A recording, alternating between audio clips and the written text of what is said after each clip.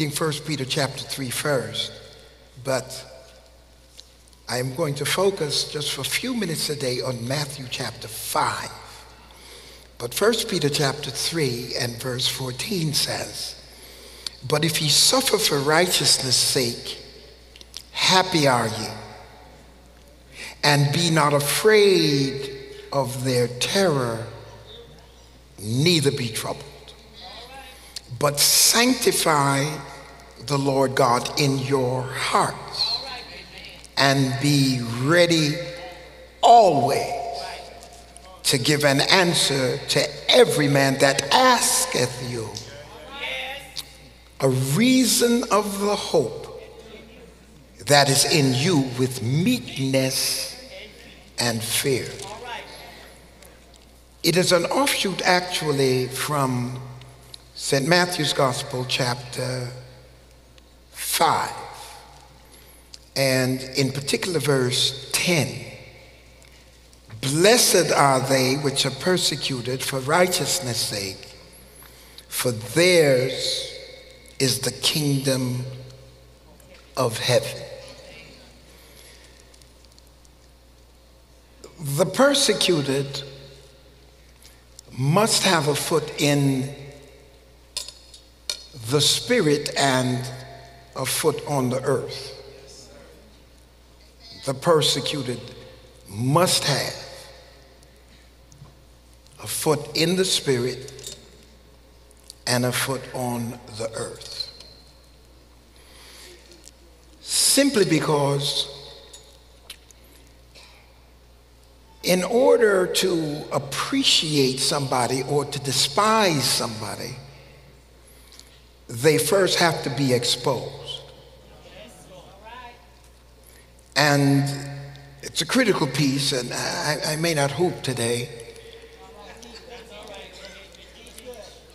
that the foot in the spirit is significant because the only way that you can express that you have one foot in the spirit is to be able to transfer what is in the spirit to the foot that's on the earth.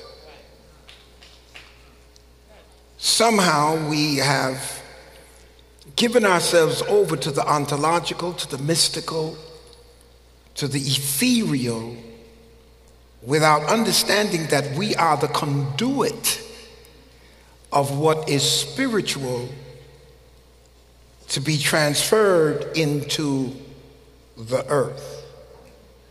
Whatever God is doing in our community and whatever God is doing in your space and my space we are the ones who are the expression of what he is doing. It's very critical because oftentimes we think we're just receptacles of the grace of God without giving thought to expressing that grace that signifies that we are his chosen children. It's important to understand that. That in order for somebody to appreciate you or for somebody to despise you, you have to be, might I say, in the game. Because if you're not relevant to the circumstances of other people's lives, then you can't be appreciated or you can't be despised.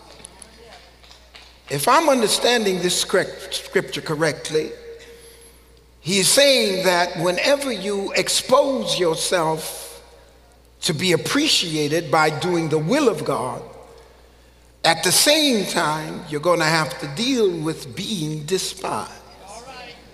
Uh, I, I got to talk to somebody in here that's on the edge and ready to move into a new dimension. we have become so concerned about receiving, we haven't yet realized how much we have to give. Because the whole church thing seems to suggest that everybody is in need of something, something more in order to give something out. But the fact is, if you're in here right now and you're clothed in your right mind, you have overcome something. I, wish I could talk to you. Everybody in here, no matter how weak they are, have overcome something. And in overcoming, it qualifies you immediately to be able to be a blessing to others. One of our problems is I want to be blessed. Pray that my family be blessed. Pray that my husband be blessed. Pray that my wife, my children, pray that everything in my house be blessed. We need a group of folks who are now praying, Lord, make me a blessing. Put me out there so I can be appreciated and I don't mind being despised. Someone has to be exposed in order to cause appreciation or cause shame. You have to be out there and you have to be seen. There has to be involvement, and anytime you get involved with anything, there are going to be risks. One of the things that's happening to us is we have become so used to being called the son of Pharaoh's daughter that we no longer want to suffer reproach with the children of Israel. Do you understand the metaphor? We have become so comfortable with being in Egypt, those of us that God has spared in order to be a blessing. And here is Moses, who is scheduled for death, but God spared him to be the leader to take the people out of Israel. If Moses had become complacent with enjoying the riches of Egypt, he would not be available to do what God had spared him to do. The question I need to ask everybody in here is do you know what God has saved you to do? Uh, it's not only in receiving, but God has given you so you may give to somebody else. Oh, I, I feel like preaching. I'm trying to uh, be intellectual today. Uh, you have to be involved. You have to get in the fight. So much is going on around us that if we don't get in the fight, then there's going to be a reckoning for what we didn't do. Many of us believe that sin is only a sin of commission. But God told me that there's another sin, and that's a sin of omission. What I should be doing that I'm not doing makes me as guilty as what I'm doing, what I shouldn't be doing. Oh, don't fool yourself. The sin of omission is as bad as the sin of commission because you're standing there full of power and all you want to do with your power is shout. But God said, I didn't empower you just to shout. I empowered you to walk back into the kingdom that I brought you out of and touch somebody else's life. Uh, I'm going to take it further. For God so loved the world that he gave his only begotten Son, that whosoever believeth in him should not perish but have everlasting life. Now, in order for that to happen, there has to be a risk because love takes risks. Love is not a passive, indifferent emotion. Love is an emotion that moves into dangerous places. Love is so powerful that love will give itself up in order for somebody else to be changed. I wonder, has God ever put somebody a burden on your spirit? I mean, a burden in you for somebody else. I might as well get close to you. Uh, has God ever just put something in you for somebody else to the point where you felt foolish for continuing to put your effort where you're not getting any results? But yet still, He will not lift the burden because the burden has to be there to cause the intensity to keep you working where you're not getting any results. And to add to that, Satan likes to target folk who are weapons for God to deliver other people out of the bondage that they have. Satan hates to see you coming. And here's how he works God works through people, the devil works through people. And when you are doing something in service for the Lord, look out because somebody's coming after you to shut your mouth, shut your testimony, and keep you from accomplishing what God set you out to do. You got to be ready to take a risk. Oh, I feel the Holy Ghost in here today. The risk has to be taken because gifts are many times misused. You so love the world that you give your only begotten son, you're going to get him killed. Can I say that again? You are going to get him killed. The risk is that great that you are going to literally get him killed. He was in the world, and the world was made by him. The world knew him not. He came unto his own, and his own received him not. One side. But as many as received him, to them gave he power to become the sons of God why? Because even to them who believed on his name, which were born not of blood, nor of the flesh, nor of the will of man, but of the will of God. There is something about the DNA that God has put in you that will connect to the DNA that He's sending you to. Which means then that you're going to be rejected on one side, but you're going to be received on the other side. Well, who will reject you? Those who aren't a part of the DNA that you have, and you receive your DNA from God. Those who are not a part of who He sends you to. Everybody who receives you is who He sent you to. Everybody who rejected you is who he didn't send you to. Many are called. I wish you'd understand it. But few are chosen. Can I go to your family for a minute?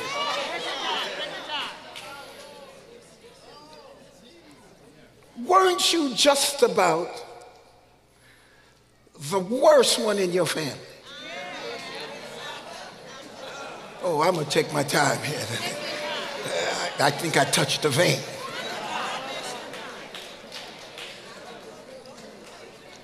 You weren't the goody goody two shoes. You ain't goody goody yet.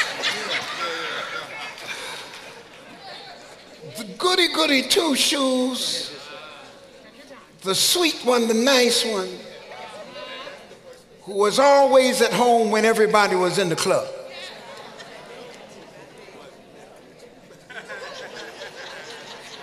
Amen. You never strayed. You never smoked a joint. Or were you the one that was in the middle of the party, cutting up all the time. Uh, one friend of mine said, he said one time, he said, his mother said, son, you got to stop keeping bad company. He told his mother, mother, I'm the bad company.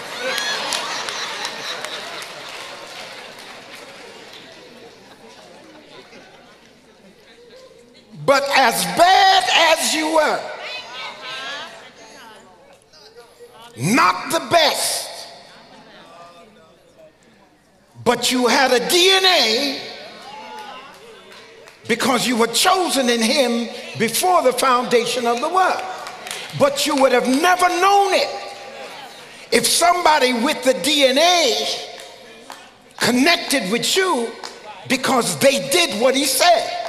He sends people to draw their own kind in spite of how they look from the outside. Because God had his hand on you before you got here. Because you were chosen in him before the foundation of the world. And all you needed was to identify with somebody who identifies with him because you were never going to reject him when the right time came. Somebody had to come back where you are who was connected to him to draw you. It was not sight, it was spirit to spirit. It was not flesh to flesh, it was spirit to spirit.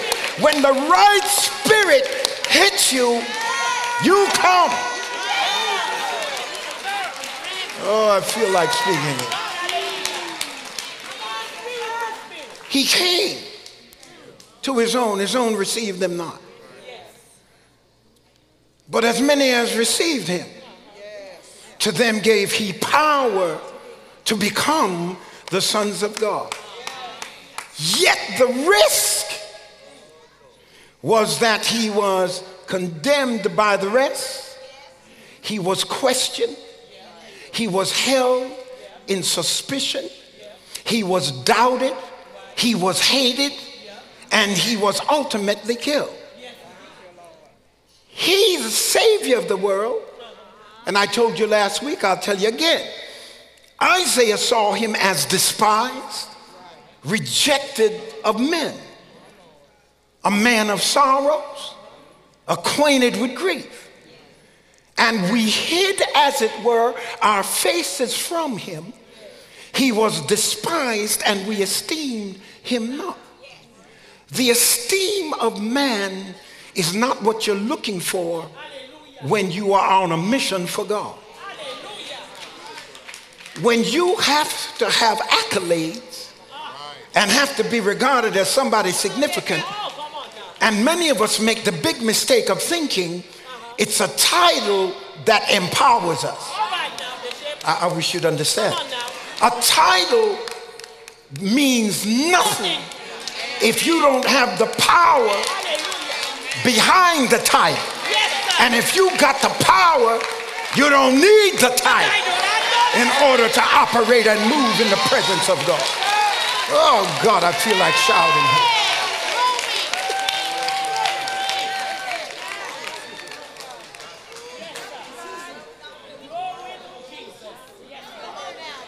I want to talk to somebody that's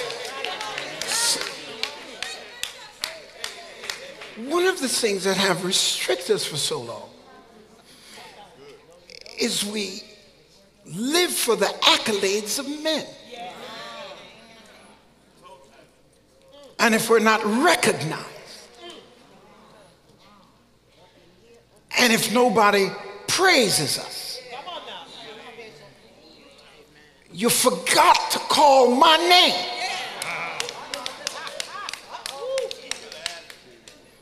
Uh, Bishop Jake told me a story once. He said, he said, no, I was through. I had left the church. I was cutting up in a manner that you can't imagine. And one lady,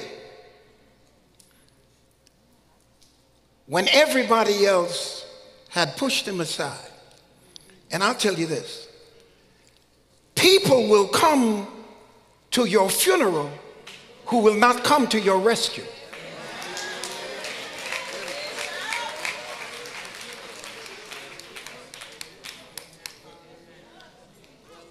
Oh, they'll dress up and, ooh. And want to talk for an hour. At your funeral, but wouldn't spend five minutes to come to your rescue.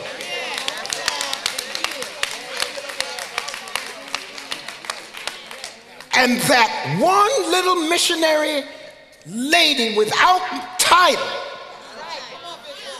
is the reason why millions of people are saved today because God sent her to somebody who she thought she was rescuing for himself.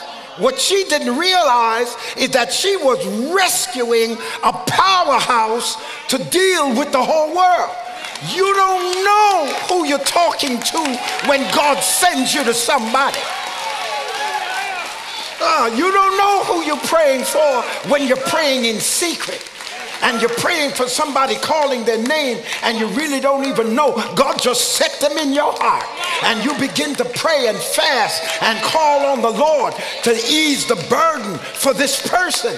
But that person is on God's chessboard and you may be a pawn praying for a queen on the chessboard of God's working.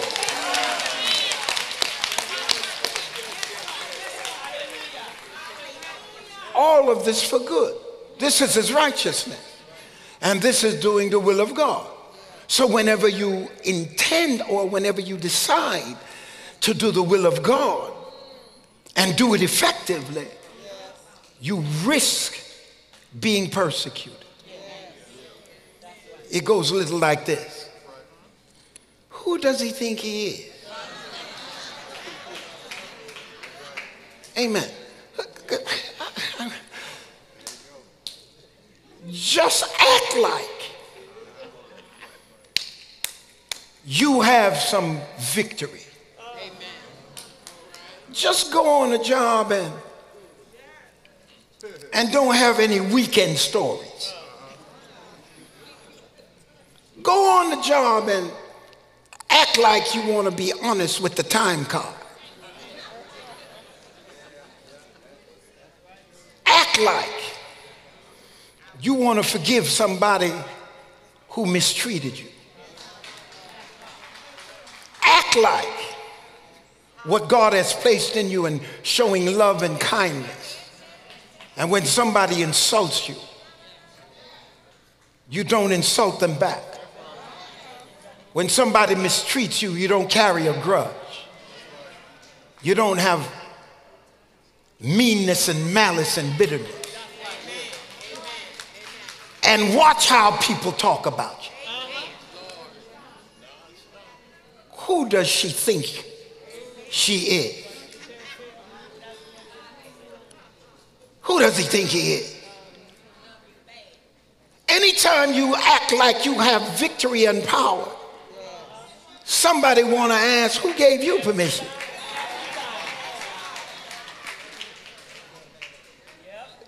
Let me put it in context of the scriptures. Who gave you permission to heal on the Sabbath day? Who gave you permission to open the blinded eyes? Who gave you permission to touch a buyer with a dead body on it? Do you remember Jesus and the widow of Nain? When he touched the buyer, nobody is supposed to touch anything that's carrying the dead. Who gave you permission Because people who you bless have people who don't want to see you blessed. And they want to destroy whoever is orchestrating the blessing.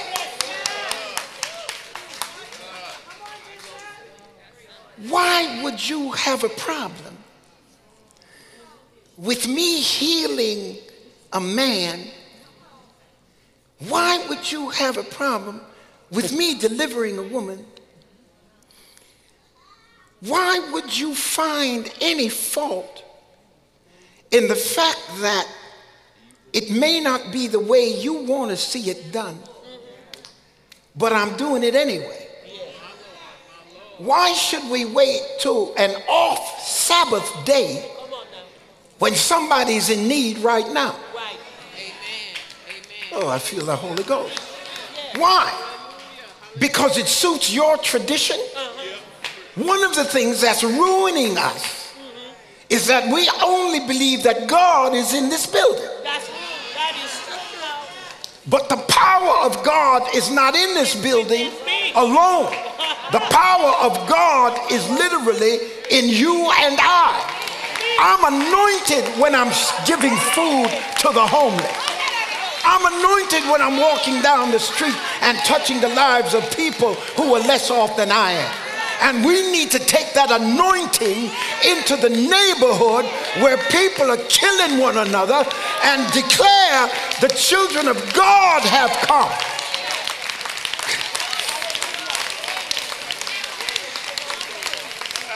I, am going to go just another way. I'm going another way. There are times in our lives when we see certain people coming. And I'm sure that you have in your space folk who you know have dark spirits. I'm not asking you now to go through your list. But there are some people around you who you know are negative. And you say to yourself, man, I don't want to be around certain people. I ain't going to let certain people in my space. Because they're just too negative, dark spirits. The kind of person that when you're around and they leave, you tired.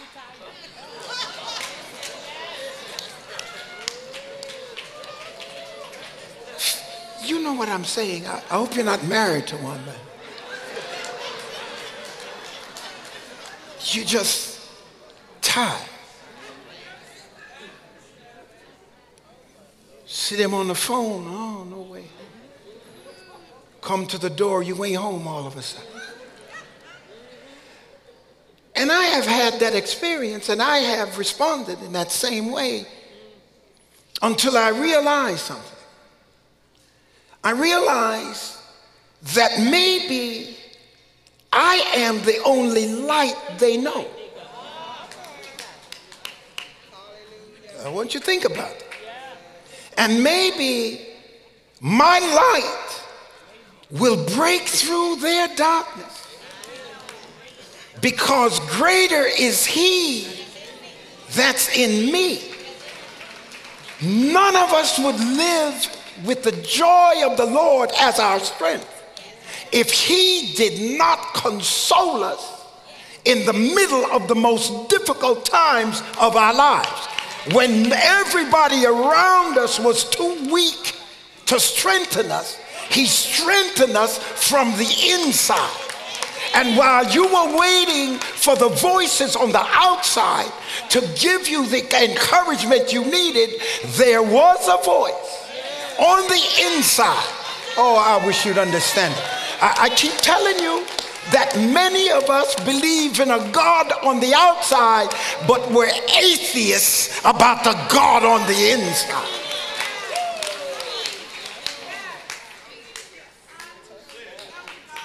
So now, the Beatitudes. If you notice the first ones, it deals with us struggling. Poor in spirit. They that mourn. They that are meek. They that hunger and thirst after righteousness. If you notice those, you will find that in those that I named, everybody there is needing something. So, from a theological standpoint, we call those the need beatitudes. he recognizes beyond a doubt that all of us in here are needy. We need. I was talking to Bishop Jakes again,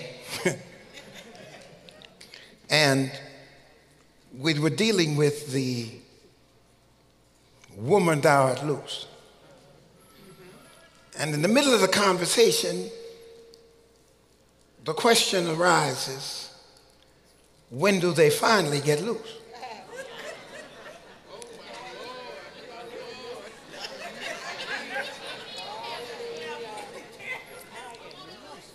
The other preacher said they got loose and now they want to be in charge.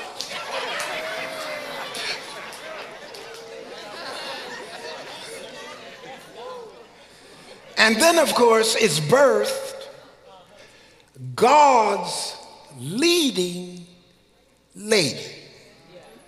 Do you understand the progression?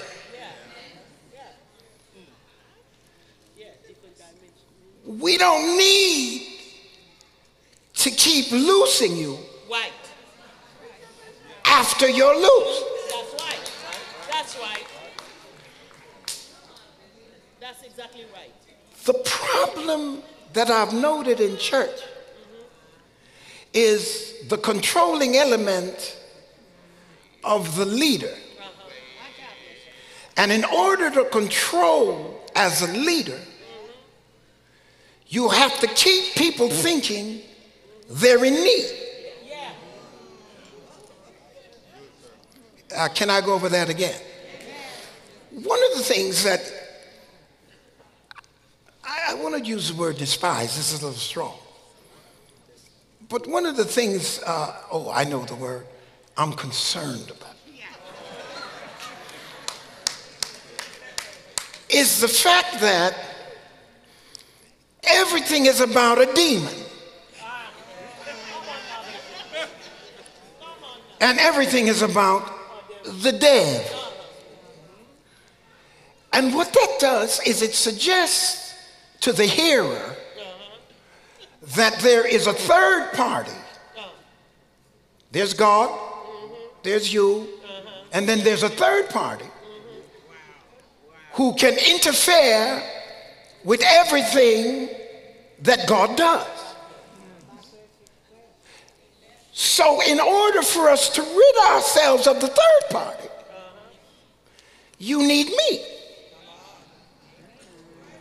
And depending on the size of your demon,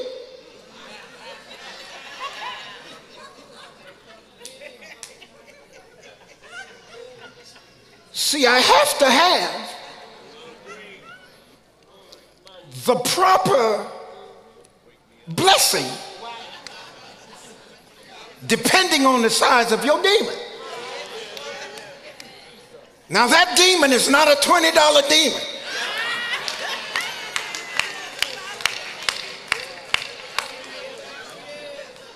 So, consequently, I have to talk about the power of witches and sorcerers and wizards and, and demons and the devil because now I need you looking over your shoulder and then looking to me for the exorcism so that you can be free. But that is not empowering. Because what Jesus did was when he finished on the cross, he said, It is finished. What was finished? The power of Satan was broken. And no child of God has to look over his or her shoulder looking for the devil to come up somehow and stop them and wipe them out. The devil is alive. The devil wants you to think that he can do anything to you he chooses to do. But when Job lost everything, he said nothing about the devil. He said, The Lord giveth, the Lord taketh away. Blessed be the name of the Lord. It ain't the devil that's stopping us from doing our job. It's we who are stopping us from doing our job.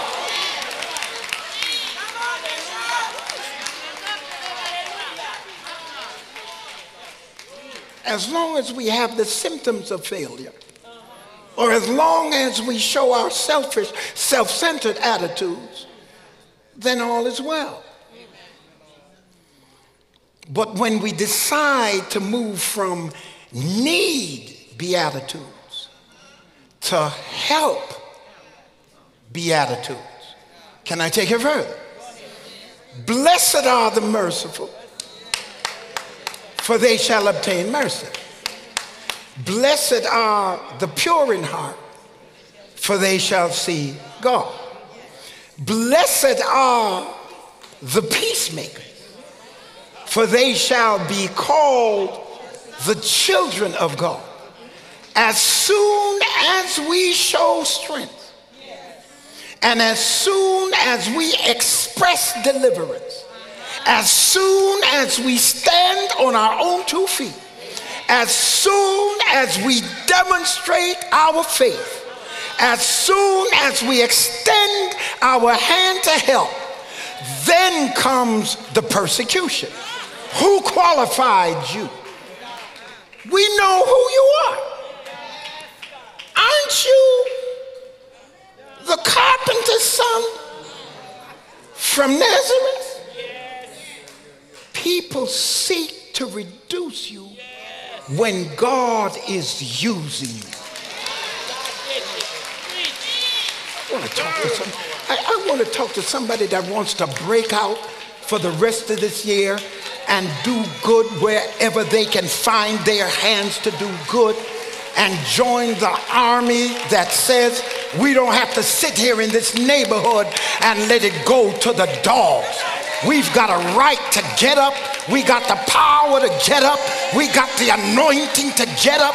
We got the wisdom to get up. And we've been through enough hell to deliver somebody out of hell.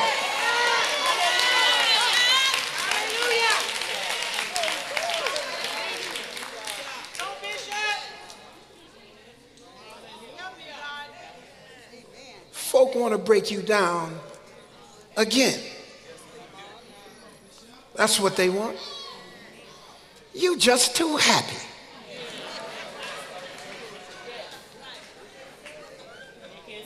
You just serving everybody. Amen. Some folks are blessed.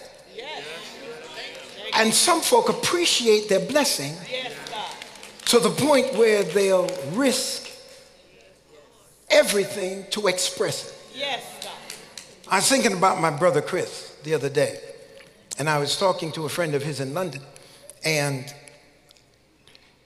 here's what I deduced from the conversation. If you don't think much, and I'm talking to those of you, uh, you know, Gucci people and and Brooks Brothers and to all of you wonderful people. Some of you won't even shout in your best clothes. You ain't even gonna praise the Lord in your best clothes, man. You scared to break those heels. you know.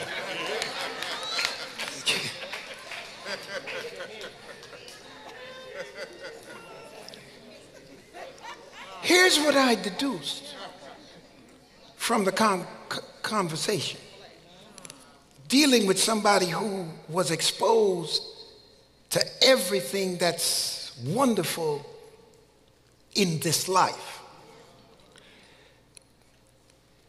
If you don't think anything about what you have, then you will risk everything because in your spirit you won't lose anything. Let me put another way. If you don't think anything about the things you have, you will risk everything because you have nothing to protect. My God. Hallelujah. That's right. Good word. I don't have to hold on to it. Because I know who gave it.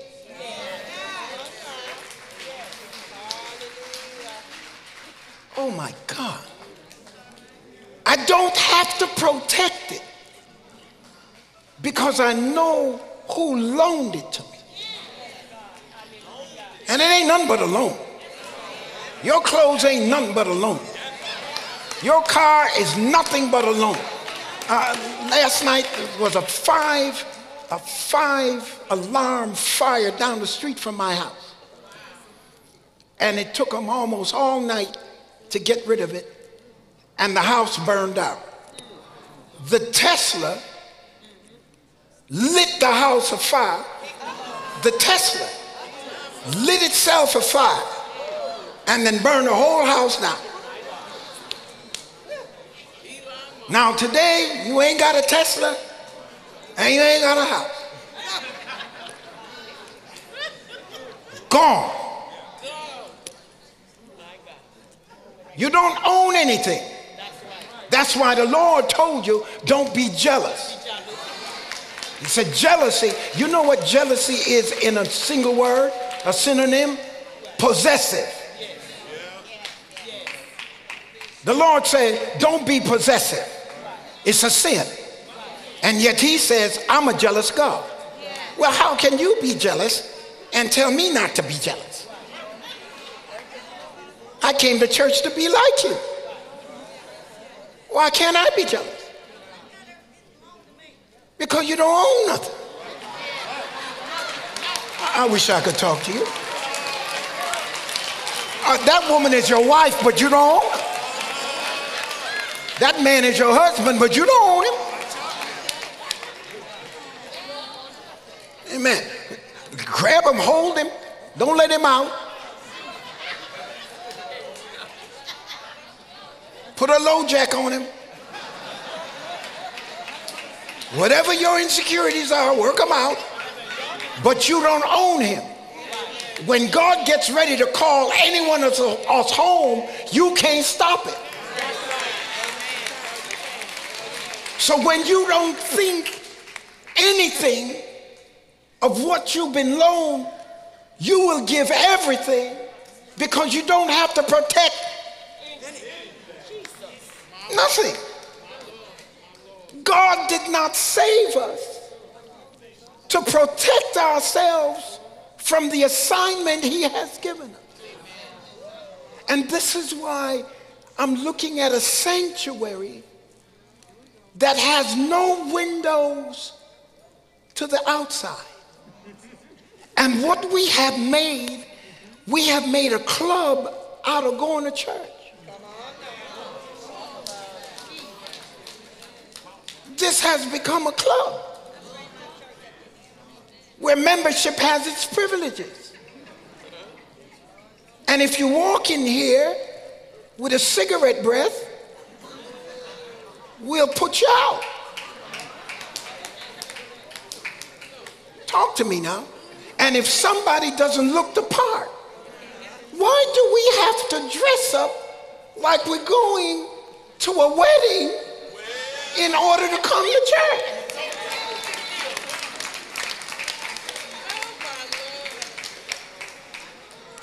Why? Well, I, I why couldn't you wear the same dress or the same suit you wore last week? Why couldn't you wear it for three weeks? All you got to do is wash it, get it clean. No, because that's not the culture. The culture is what you call, I got to wear my Sunday best. Sunday best? But what about the rest who don't have a Sunday best? How does somebody feel comfortable, or do we have an obligation to make people comfortable? Jesus said, The foxes have holes, the birds of the air have nests, but the Son of Man hath nowhere to lay his head. Now, if you ain't got nowhere to lay your head, you homeless. But the homeless Jesus healed the sick.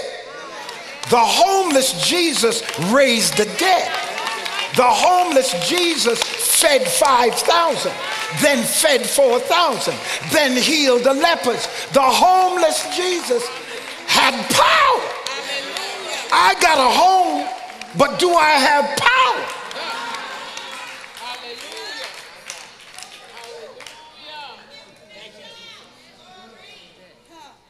Now, for those who are working and for those who are we're recruiting for the job, Jesus said, If I had not done among them the works which none other man did,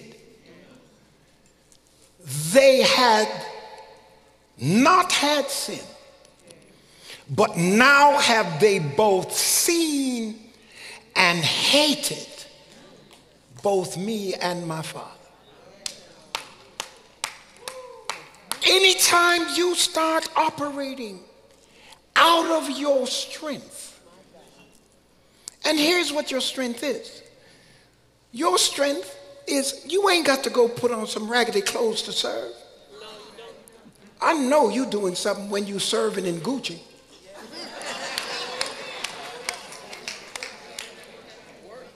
Well, I don't want to get on my clothes. I want to redefine our activities into the future as a church. We are in this building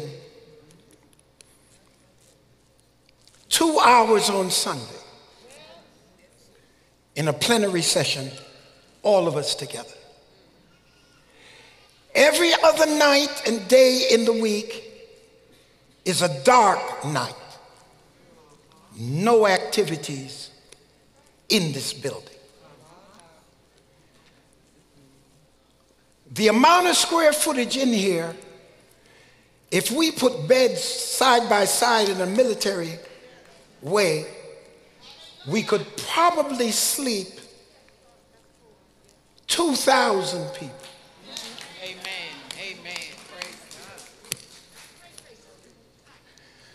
Parking lot across the street not used except for Sunday. Parking lot across the street can park 450 cars. So think with me, children of God.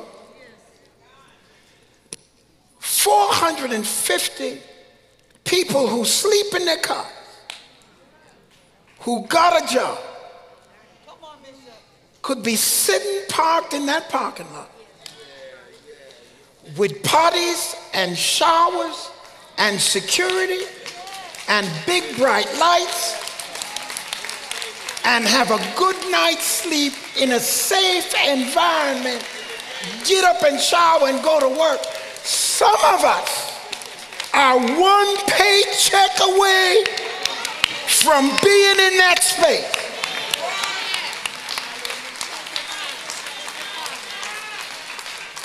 Uh, look at your neighbor and say the bishop is recruiting laborers for the vineyard. And Mother's Day is going to be a different Mother's Day. It ain't going to be the same. Get ready for it because it's not going to be the same. We got to address the reality of what mothers are going through in the climate of the environment in which we live. Amen. We celebrate mothers who have children. When are we going to celebrate mothers who have lost their children? When are we going to empower them and encourage them to stay in the race when their boys are in jail and their sons are being shot down in the street.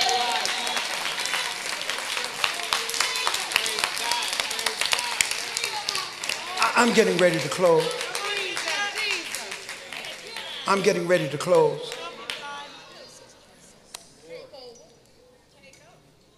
What good is my joy if I can't share it?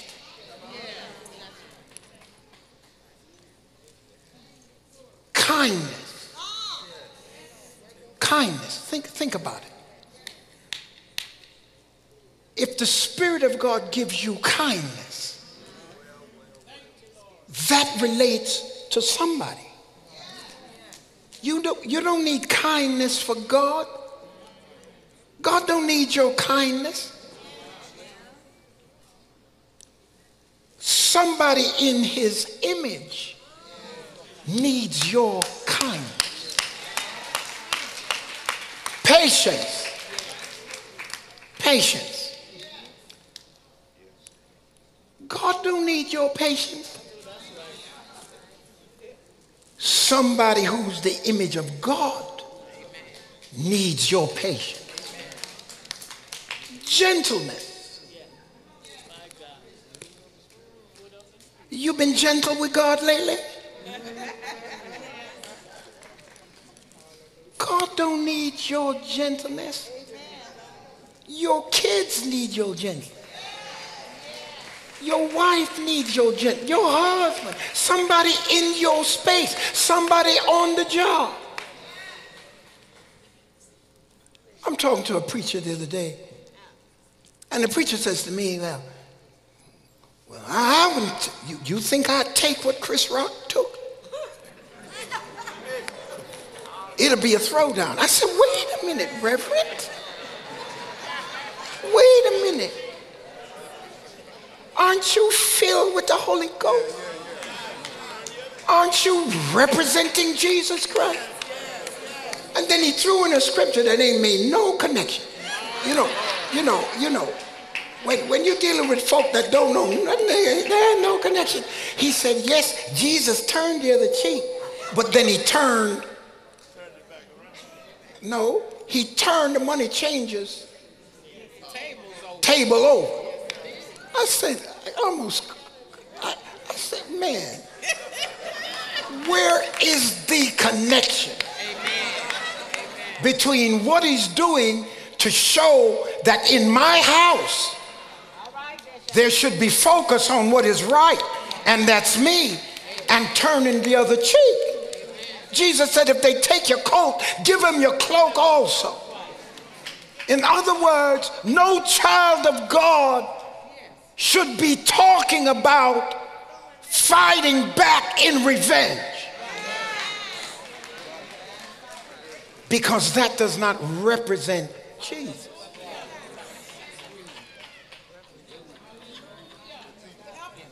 Turn the other cheek. Patience, kindness, long suffering.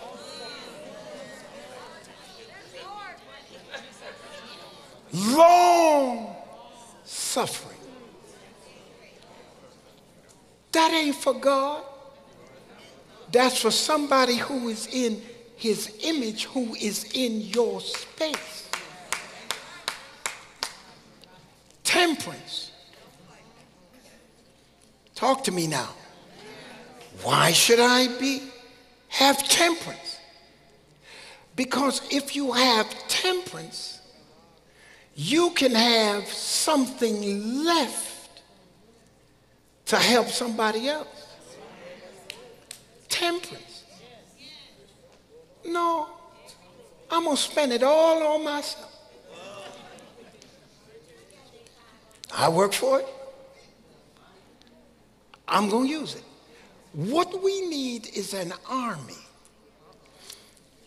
Because I'm coming to a close here and I haven't finished, but I'm going to quit. What we need is to recruit men and women who have come to the realization that the problem in our community is ours. Should I say that again? The problems you have in your house are yours. You will reach out of the house to have help to solve the problem, But you can't shift the problem on the person who is outside. The responsibility to fix the problem is who the problem belongs to. See how quiet we get? See how quiet. Don't, don't get quiet.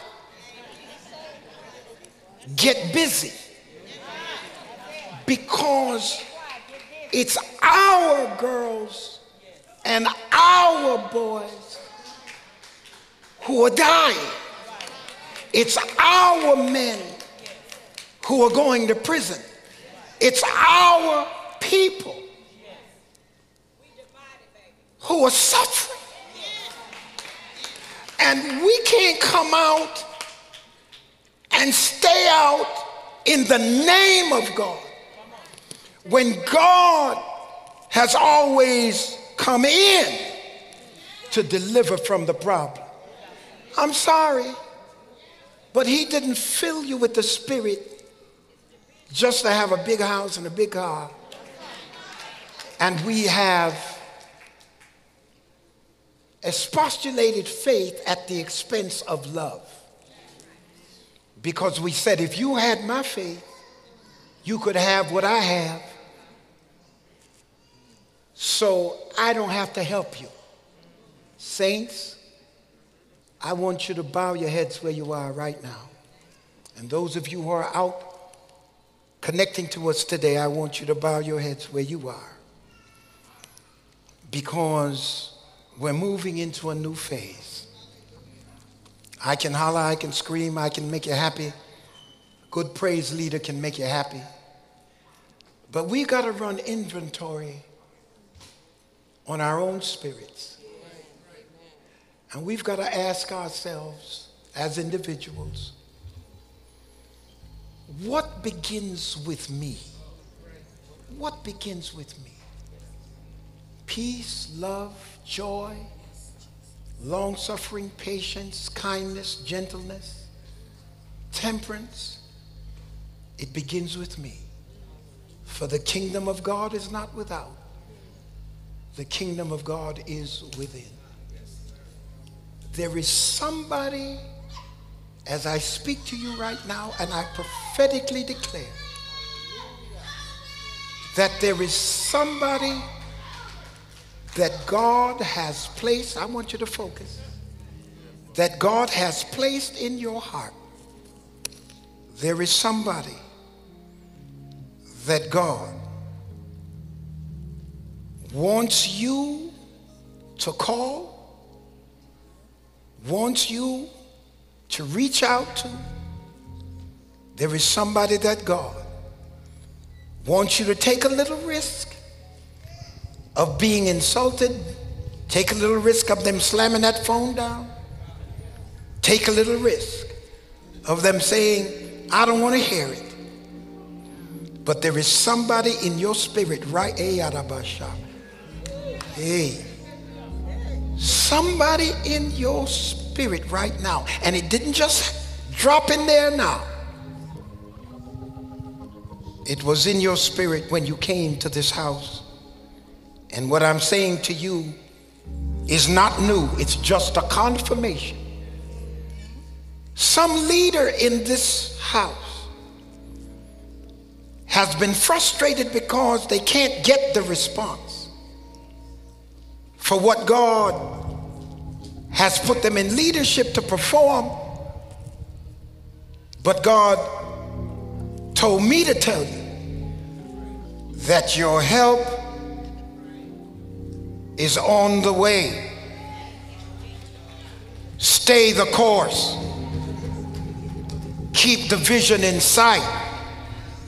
Write that vision plain because things are going to change. We're not going to change the whole world, but we're going to change the world around us. Join me in the spirit right now.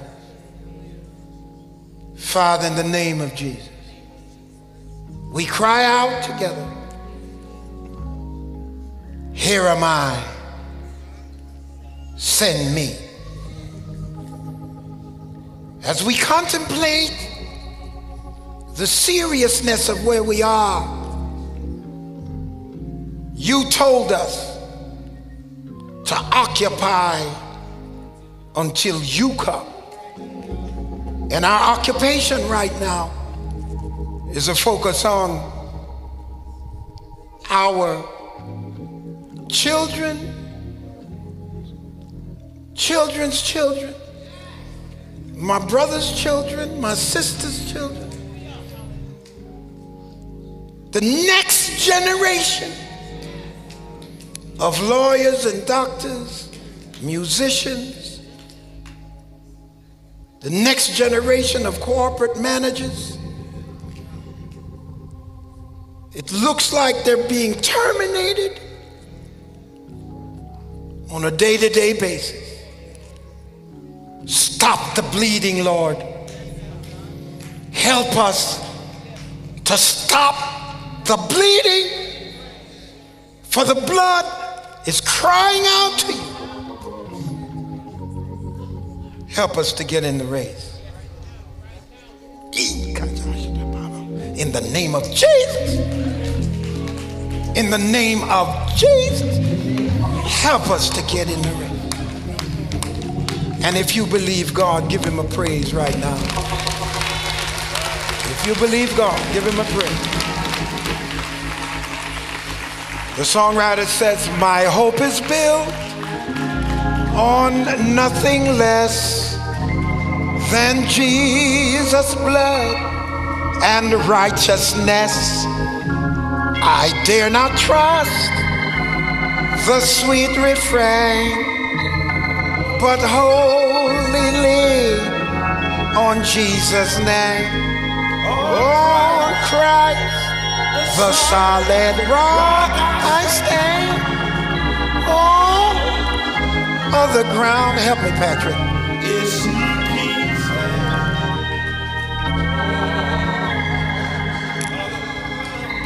He is seeking On Christ, on Christ. the solid The rock I Oh, stand.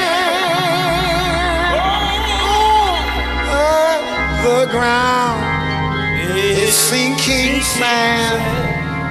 Oh, the, the ground. Come on. He's calling us. Seeking sand.